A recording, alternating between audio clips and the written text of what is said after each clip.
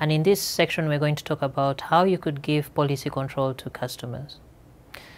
So as far as customer policy control goes, your ISPs can have two main options on how to handle policy control for them. Either you don't have delegation of policy options, which means a customer has no options, they have no choices, and if they want a particular change, the ISP technical support have to manually handle it. Or you could give limited delegation of policy options to the customer. So the customer has certain choices out of a fixed menu. And for those particular choices, the ISP technical support does not need to be involved.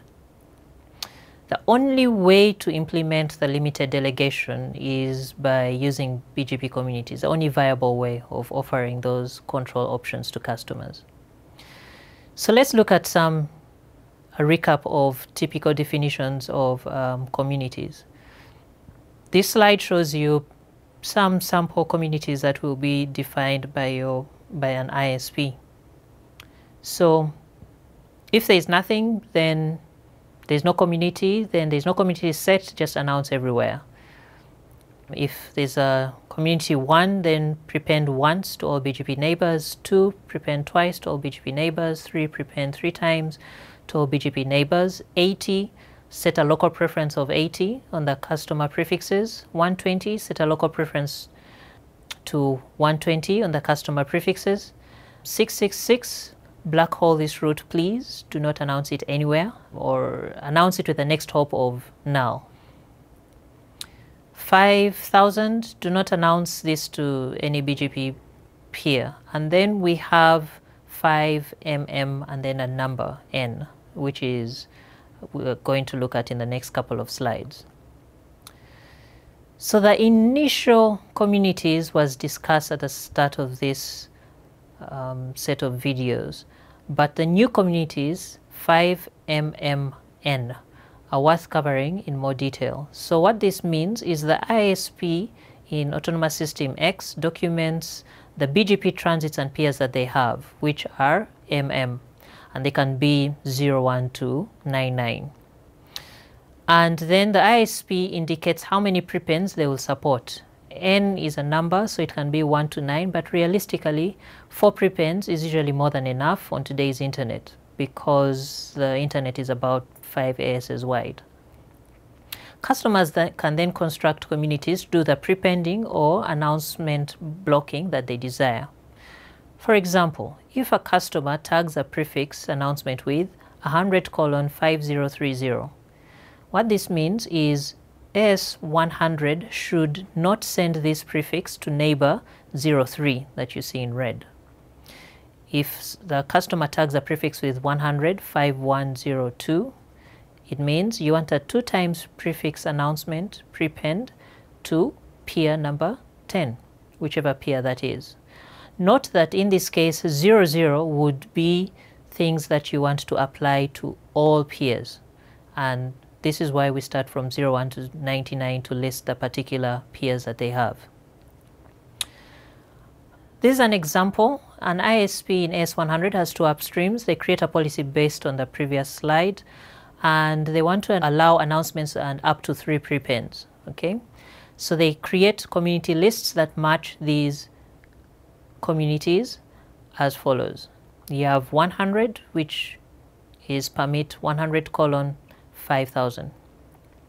Then 101, which permits 100 colon 5001.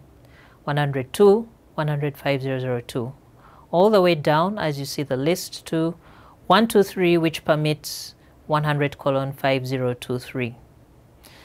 Now, the 105,000 is don't announce anywhere the 100 colon 5001, which means a single prepend to all.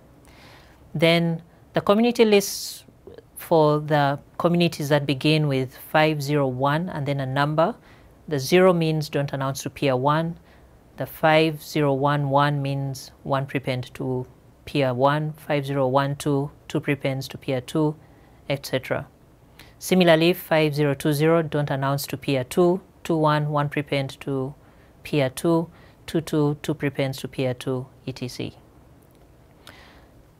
To implement this, the route maps will look similar to the following. So you'd have a route map BGP neighbor 01, deny 10. Remember the first statement is things that you want to drop.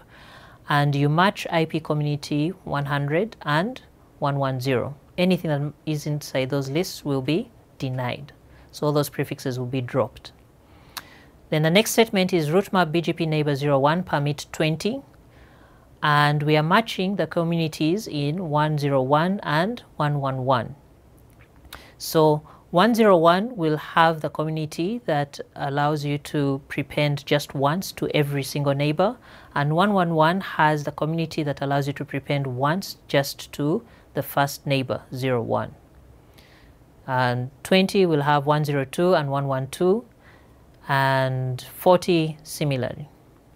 And then at the end, we have a statement, route map BGP neighbor 01 permit 50 to allow all other prefixes unmodified.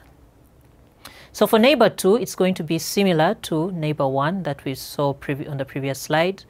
So deny 10 is the very first statement and we match community 100, which is to drop to every single neighbor, as well as 120, which is to drop all prefixes to neighbor number 2. And then the next statement is a permit statement and we are matching 101 which is everyone we need to prepend uh, once and then 121 we need to prepend once only to peer number 2. All the way down to permit 40 which matches 103 and 123 and prepends three times. Lastly, similarly to the previous slide, you have a default permit 50 added to the bottom because route maps have an implicit deny all. So every other prefix will be passed through untouched.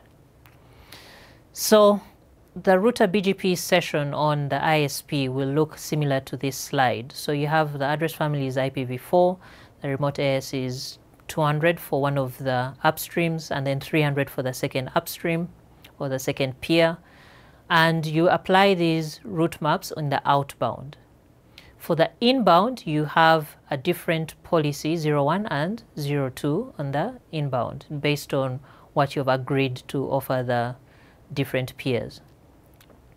So as long as the customer sets the appropriate community, the policy will be applied to their prefixes. So if you're looking at a customer router, this slide shows you what they could probably have, and they're in AS600, and the peering session with 100 has a route map upstream out on the outbound and of course a prefix list for the inbound.